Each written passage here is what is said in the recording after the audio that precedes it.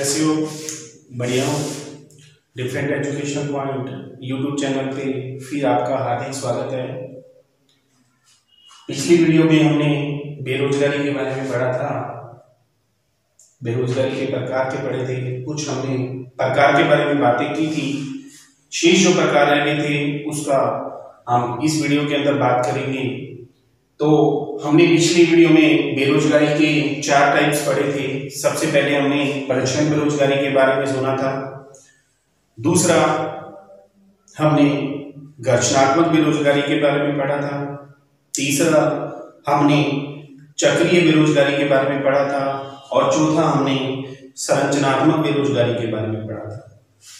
आगे जो शेष पार्ट बचा है, उसके बारे में हम चर्चा करते हैं। सबसे पहले हम बात करते हैं अल्प बेरोजगारी के बारे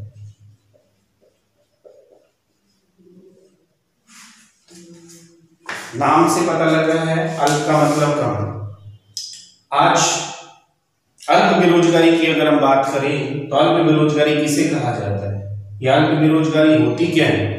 तो अल्प बेरोजगारी का मतलब यहाँ पर यह है, या ये तात्पर्य है कि व्यक्ति काम करना चाहता है, उसकी काम करने की क्षमता भी ज़्यादा है, लेकिन उस व्यक्ति को उस क्षमता के अनुसार कार्य नहीं मिल पा रहा। जैसे कि अगर हम बात करें कि कोई व्यक्ति आठ घंटे काम कर सकता है, लेकिन उसे कितने घंटे काम मिल रहा है? चार घंटे काम कर रहा है। यानी वो जितनी अपनी श्रम शक्ति कार्य में लगाना चाहता है, उससे उसको कम कार्य मिल रहा है तो वो बेरोजगारी किसमें कहलाती है? अल्प बेरोजगारी, इसे अल्प बेरोजगारी भी कह सकते हैं। यानी व्यक्ति काम करना चाहता है, काम करने की क्षमता भी ज़्यादा है, लेकिन उसे कम समय काम मिल रहा है। बाकी समय वो क्या हो जाता है? बेकार हो जाता है या बेरोजगार हो जाता है। तो इसीलिए उसे अल्प बेरोजगारी भी कहा जाता है। जैसे कि अगर हम बात करें कि सरकार के अनुसार निश्चित है कि पूरे दिन के अंदर, यानी प्रतिदिन की अगर बात करें, यानी एक दिन के अंदर कम से कम उसे आठ घंटे काम मिलना चाहिए। कितने घंटे काम मिलना चाहिए? आठ घंटे और पूरे वर्ष के अंदर उसे कितने दिन काम मिलना चाहिए? दो सौ तिहत्तर दिन काम मिलना चाहिए। यानी अगर सरकार का जो एक मानक है, वो ये कहता है कि यदि किसी व्यक्ति को आठ घंटे प्रतिदिन काम मिल रहा है, समय निर्धारित है, प्रतिदिन कितने घंटे कम से कम? आठ घंटे। और पूरे वर्ष में कितने दिन काम मिल रहा है? दो सौ तिहत्तर दिन काम मिल रहा है। तो व्यक्ति बेरोजगार नहीं माना जाता। लेकिन यहाँ पर व्यक्ति आठ घंटे काम करना चाहता है, लेकिन उसको काम कितने घंटे मिल रहा है? चार घंटे मिल रहा है। तो हम अगर बात करें कि उसको जो काम करना चाहता है, उसकी समय अवधि उसके पास भी ज़्यादा और कार्य करने की क्षमता भी है, लेकिन वो अपनी कार्य क्षमता का पूर्ण प्रयोग नहीं कर पा रहा तो वो किसके अंदर गिना जाएगा? अल्प बेरोजगारी के अंदर गिना जाएगा। अगली बात करते हैं हम दूसरी बेरोजगारी की, जिसका नाम है मौसमी बेरोजगारी।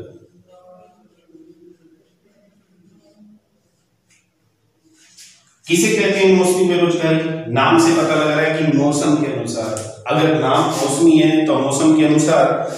यानी ये बेरोजगारी वो बेरोजगारी होती है जिसमें व्यक्ति को एक मौसम के अनुसार कार्य मिलता है और जैसे ही वो मौसम जाता है उसके बाद उस कार्य से उसको हटा दिया जाता है, वो कार्य क्या हो जाता है? समाप्त हो जाता है।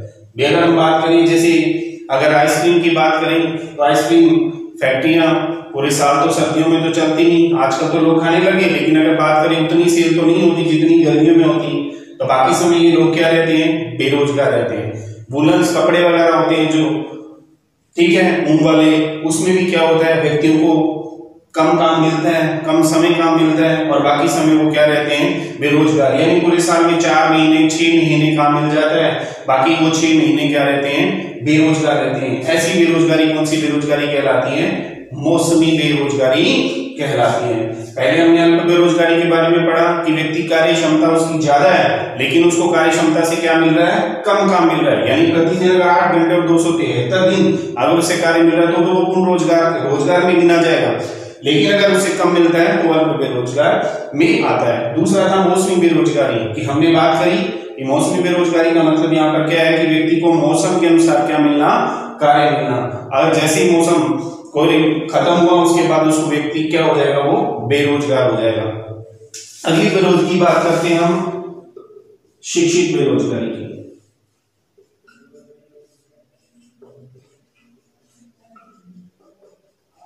शिक्षित बेरोजगारी। बताइए कि शिक्षित बेरोजगारी, कि व्यक्ति आज पढ़ा लिखा है, ठीक है, शिक्षित है व्यक्ति, लेकिन उसको शिक्षा के अनुसार कार्य नहीं मिल पा आज वही बात है कि अगर कोई फार्म निकले हुए हैं, फोर्थ ग्रेड के, ठीक है, और उसे पीएचडी एम वाला भी बढ़ रहा है, ठीक है एम ए बी एड वाला भी बढ़ रहा है तो ठीक है, व्यक्ति शिक्षित था उसके अनुसार तो उसको कार्य नहीं मिल पा रहा ना। जो उसकी शिक्षा है, उस शिक्षा के अनुसार जब व्यक्ति को कार्य नहीं मिलता तो वो किस बेरोजगारी में काउंट होता है शिक्षित बेरोजगारी के अंदर गिना जाता है। यानी कहने का मतलब उसकी शिक्षा के अनुसार उसे काम नहीं मिलना, वो क्या कहलाती है? शिक्षित बेरोजगारी कहलाती है। व्यक्ति काम करना चाहता है, ठीक है, किसके अकॉर्डिंग जो उसकी एजुकेशन है, उसके अकॉर्डिंग लेकिन उसकी एजुकेशन से उसे कम लेवल का या सबसे नीचे लेवल का जब कार्य मिलता है तो व्यक्ति उस कार्य को नहीं कर पाता तो वो क्या कहलाती है? शिक्षित बेरोजगारी कहलाती है। तो हमने पहले बात की अंत बेरोजगारी के बारे में दूसरी हमने बात करी मौसमी बेरोजगारी के बारे में, तीसरी हमने बात करी शिक्षित बेरोजगारी के बारे में। आप जानते हो कि लॉकडाउन चल रहा है। लॉकडाउन के दौरान बेरोजगारी की दर बढ़ती जा रही है। बढ़ रही है ना? हमने सुना कि बेरोजगारी बढ़ती जा रही है, बढ़ती जा रही है। और प्रवासी लोग भी एक स्थान से दूसरे स्थान पर अपने घर की तरफ़ रवाना हो रहे क्यों रही होने का कारण यही है? कि व्यक्तियों को एक तो खाना नहीं मिल पा रहा, एक दूसरा उनको कार्य जहाँ करते थे, वहाँ से कोई भी वेतन नहीं मिल पा रहा। इसलिए वो क्या कर रहे हैं? वापिस जहाँ से आए थे, वहाँ अपनी घरों की तरफ़ वो क्या कर रहे हैं? प्लान कर रहे हैं। जैसे कि अप्रैल के बाद के आंकड़े की बात करें तो भारत में तेईस पॉइंट बावन प्रतिशत बेरोजगारी की दर मापी गई है। यानी अप्रैल के अंदर जब ये आंकड़ा आया कि भारत के अंदर तेईस पॉइंट बावन प्रतिशत बेरोजगारी की दर हो चुकी है, और सबसे ज़्यादा बेरोजगारी की दर की अगर हम बात करें तो फेंडुचेरी के अंदर कितनी? पिछहत्तर पॉइंट आठ प्रतिशत। कितनी? पिछहत्तर पॉइंट आठ। और उसके बाद, सबसे ज़्यादा के बाद तमिलनाडु के अंदर 49.8 प्रतिशत बेरोजगारी की दर का आंकड़ा नोट किया गया है। यानी पूरे भारत के अंदर अगर हम बात करें तो भारत में तेईस पॉइंट बावन प्रतिशत बेरोजगारी की दर को मापा गया जो सबसे ज़्यादा मानी जा रही है। यानी उन्नीस सौ उनतालीस के बाद अगर देश के अंदर जो मंदी आएगी और बेरोजगारी आएगी, वो सबसे ज़्यादा 2020 के अंदर देखने को मिलेगी।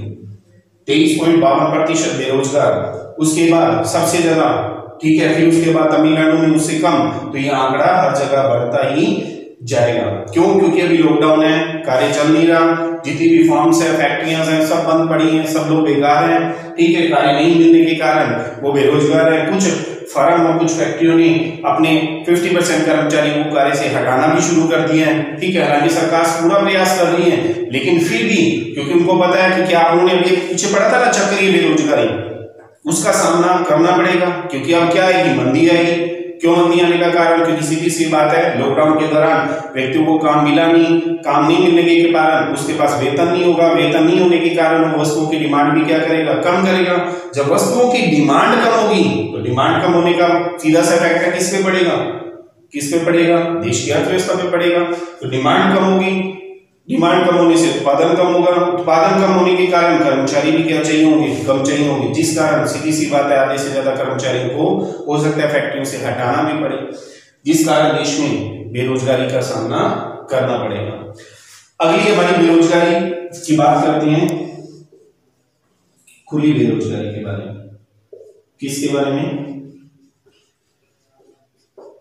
खुली बेरोजगारी के बारे में। अगर हम बात करें व्यक्ति वर्तमान मजदूरी पर काम करना चाहता है, लेकिन उसे काम नहीं मिलता। यानी व्यक्ति यहाँ काम भी करना चाहता है, ठीक है? यानी उसकी इच्छा है काम करने की, लेकिन उसे काम नहीं मिल पा रहा। यानी जो भी प्रचलित मजदूरी दर जो चल रही है, उस पर व्यक्ति काम करना चाहता है, लेकिन उसे काम नहीं मिल पा रहा। तो क्या तो कौन सी बेरोजगारी कहलाती है? खुली बेरोजगारी कहलाती है। यानी कहने का मतलब ये होता है कि व्यक्ति वर्तमान मजदूरी पर कार्य करना चाहता है, लेकिन उसे काम नहीं मिलता। तो वो कौन सी बेरोजगारी कहलाती है? खुली बेरोजगारी। इसमें ज़्यादातर क्या होता है कि गाँव से लोग शहरों की तरफ़ पलायन करते हैं। क्योंकि गाँव के अंदर क्या होता है?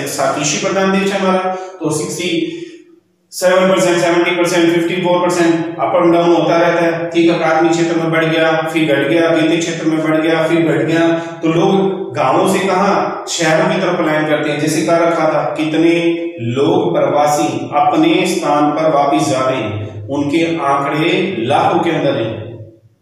क्यों गए थे वो? क्योंकि उनको कार्य वहाँ पर नहीं मिल पा रहा था उनके गाँव के अंदर। तो गाँव से कहाँ पलायन किया था उन्होंने? शहरों के अंदर, क्योंकि जो प्रचलित दर पर वो काम करना चाहते थे, ठीक है, उन्हें काम मिल रहा था, लेकिन अब वो काम करना चाहते हैं, लेकिन उन्हें काम नहीं मिल पा रहा। तो ये कौन सी बेरोजगारी कहलाती है? खुली बेरोजगारी कहलाती है। देखो, सबसे पहले जो हमारी वीडियो आई थी टैक्स की डायरेक्ट टैक्स इनडायरेक्ट टैक्स के बारे में पढ़ाया था। बहुत से बच्चों ने उनका आंसर भी दिया था, लेकिन उसके बाद जो सेकंड वीडियो थी, कुछ टेक्निकल मिस्टेक आने के कारण वो वीडियो कुछ करप्ट हो गई थी, ठीक है अपलोड नहीं हो पाई। उनके जो आंसर थे, बच्चों ने दिए थे, उनके नाम उस वीडियो के अंदर है। दोबारा ही वो वीडियो अपलोड कर दी जाएगी। आप प्रयास करें वीडियो देखते रहिए। कई बार क्या होता है कि समय के अभाव के कारण एक साथ दो दो तीन तीन वीडियो बन जाती है और समय मिलते ही उस वीडियो को अपलोड कर दिया जाता है। आप कंटिन्यू वीडियो देखते रहे YouTube channel different education point से जुड़े रहे इस वीडियो में नहीं तो नेक्स्ट वीडियो में आपको उसका आंसर मिलेगा जो आपने कमेंट बॉक्स के अंदर किया है। बेरोजगारी के आज हमने पार्ट पढ़ ली। अब हम आज के क्वेश्चन के बारे में बात करते हैं।